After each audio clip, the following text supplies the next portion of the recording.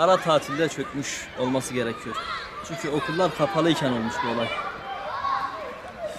Yani orayı kapatmışlar, giriş buradan vermişler. Bu üst taraftan giriyorlar. Önceden şu üstten giriş yapıyordu. Yani önlem alınmış. Oraya bir set çekilmiş. Öğrenciler oraya gitmesin diye. Ama bir an önce de yapılması gerekiyor.